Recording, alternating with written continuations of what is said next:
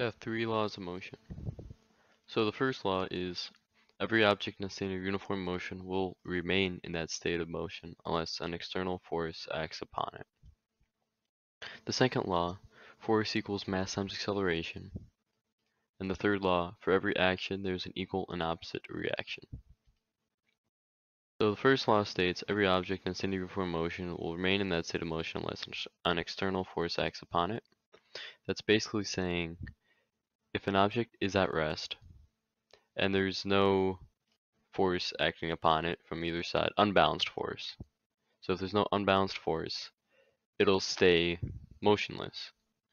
And the same goes with an object that is in motion. It's in motion and there's no unbalanced force acting upon it, it will stay in motion.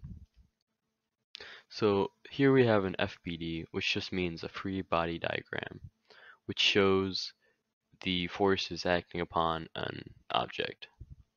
So in this example, we have uh, forces on in every direction, but this arrow right here is longer than the arrow on this side, which shows an unbalanced force, meaning that the object right now is accelerating to the right because this is longer.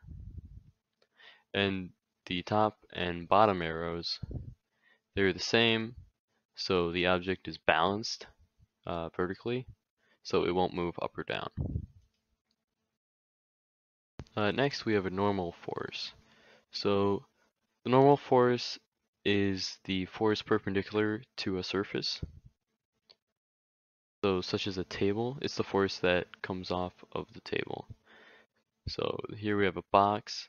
Gravity pulls the box down, but the normal force pushes off of the table at, at the exact same uh, magnitude as gravity, pulling it down.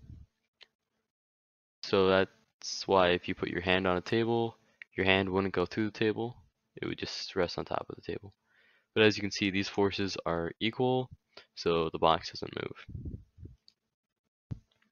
Uh, next we have an FBD of a car. So here we have the wheels on the road, so like the drivetrain, the engine, that's pushing the car forward, right? And then we have the arrows on the back, so like air resistance and the force of friction, so like the wheels. So these arrows, they're if you add them up, you add them up, put them tip to tail, they would be equal to the wheels on the road. So this car is moving at a constant uh, speed. It's not accelerating or decelerating. And once again, with the normal force, the vehicle isn't going to go into the ground because this force on top is exactly the same and opposite of the force on the bottom, gravity. Uh, so next we have the second law, which reads force equals mass times acceleration. So the way we write that is F equals ma. But the way a lot of people like to write it is A equals F over m. So what this means is, through this, let's talk about the second one. What it means is, if you have more force, then the acceleration of an object will be greater. But if you have more mass, then the acceleration of an object will be less. So the F is proportional to the A, and the M is inversely proportional to the A, to acceleration. So if we look at this, we have a 10 pound dumbbell.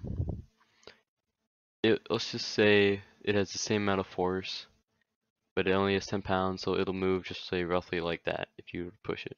But you take the same amount of force and you apply that to a 100 pound dumbbell, it'll move a lot slower. And this can also be applied to rockets. The heavier a rocket is, the more um, force you need to lift it to, to make it accelerate. And we can also we can go back to this first equation, which uh, reads force is mass times acceleration. So if we increase the mass or increase acceleration, we increase force. So we can look at this and we can see with this, what makes the rocket uh, lift off the ground is the gas. So if we increase the mass of the gas, we increase the acceleration or speed that the gas is leaving the engine nozzles, we can increase the force that this gas creates, which then can lift the rocket. So moving on to the third law, it states for every action there's an equal and opposite reaction. Uh, let's not let's not use action or reaction.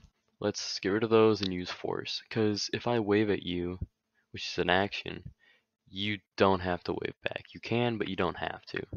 With this, it just gets rid of that and makes it a force. So we can go back to the rocket uh, example. So the force that we just talked about that the gas creates, that force is the same force that lifts up the rocket. Of course, the force isn't happening right as the rocket leaves, it's actually pushing off of the top of the gas tank. Because if you think about it, here's the gas tank, the gas is leaving, uh, the fuel is leaving the gas tank, so it's going down, which then has the force pushing up off the top of the gas tank. So uh, going back to the normal forces, normal force is basically created because the force of gravity hits the table, or the box hits the table because of the force of gravity, and the table pushes back. So the table pushing back is the normal force that we experience. So that's once again why your hand does not go through the table, because the table pushes back. And another example of this is with a wall. If you push a wall, then the wall will push back.